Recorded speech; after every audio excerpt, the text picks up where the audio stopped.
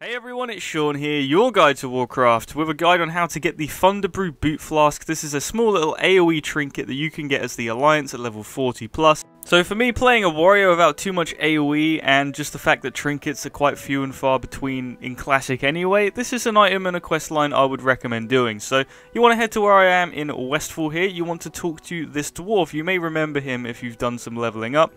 But instead, at level 40, you can return and you can get the Sweet Amber quest chain. This quest chain will award quite a bit of money, quite a bit of XP, and a trinket that if you don't want, you can vendor for one gold, so it's not all bad.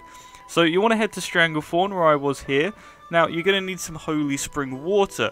So, if you remember this area, this is where all of the Naga are, and you want to go across this bridge, and you want to click on the fountain over here. If you have played retail, and you've done the Stranglethorn quest chain, you will probably remember that this is actually required, I believe, for just one of the normal quests, but in Classic, this one was a bit more mysterious. So, this water is needed for this quest. You go take that water, hand it back in, and then you will get a quest to find a load of grain scattered around Azeroth that he needs to make his brew.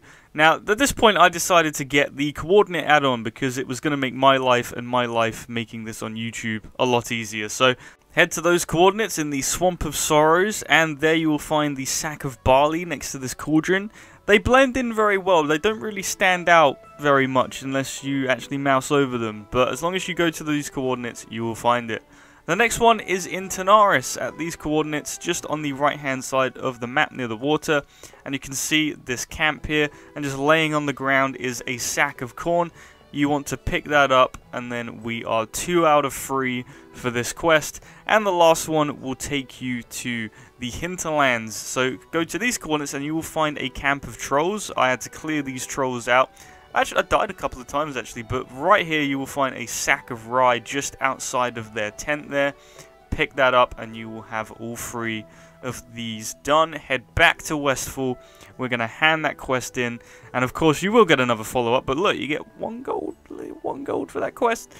Then you want to go and get a true silver bar. Now, even as a miner at level 40, I couldn't smelt true silver. So the best way to do this is just to head to the auction house. The, like I think the quest reward more than covers it. After that, you'll get a quest to go to Feralas. You want to head to those coordinates, and you just want to kill this tree that wanders around this rough area of Feralas. Kill him, head back. Very, very easy. Get the branch, and then, you know, even more reward.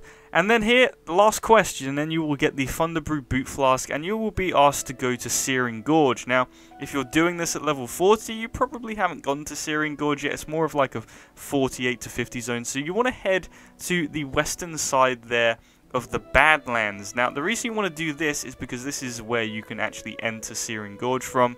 You can see that's the entrance we came down behind my character. And then here at 5652 in Searing Gorge where I'm standing, you can see over there, that's where we came in.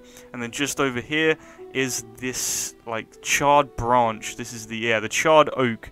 So you just want to dismount, click that, and then this will be the last thing that the Thunderbrew Dwarf will require to make his brew. Once we've done that, of course, head back to Westfall, hand it in, and you will receive your trinket. And like I said, as a warrior, this trinket, pretty handy. It does have a 30 minute cooldown, does get you drunk, but I think if you're in a tight spot and you need a little bit of AoE very quickly, this is this is a good trinket, especially as, you know, like I said, trinkets are few and far between. If I wasn't an engineer, I probably wouldn't have any trinkets, to be honest. So, it's pretty handy. But that is all for this video, so thank you very much for watching. Be sure to subscribe for more guides and videos. If you have any suggestions for classic guides you would like to see, I'd love to do them, so drop them in the comments down below. Thanks for watching. I'll see you next time.